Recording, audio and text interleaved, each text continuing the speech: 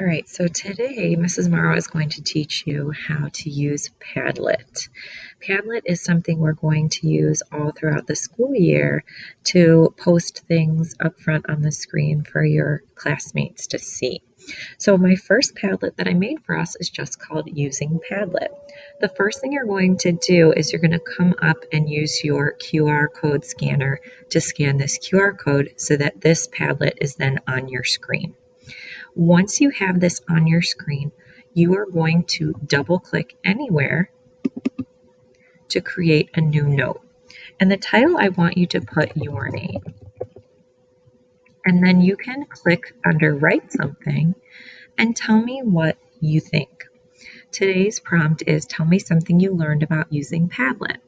So I might say something like this. Today I learned that you can put a selfie into a post. And you see below there's all these different options. So one of the options you can do is to add an attachment of sound. Another thing you can do here is you can put a video in. You can add a file you can add a photo or you can add a document. Today I'm going to show you how to add a photo. So you click on the camera and you could put a picture from the web or something that's already on your device, but we're going to click Take Photo. Now it's going to ask if you want Padlet to use the camera and you're going to say Allow. Then, using your camera on your device, you're going to take your picture by clicking capture. Once you click capture, it'll say looks good.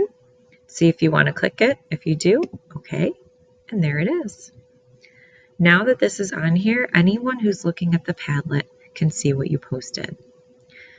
Now, since this Padlet is on your screen, I'd like you to tell me something that you learned about using Padlet by double clicking and following the directions Mrs. Morrow gave.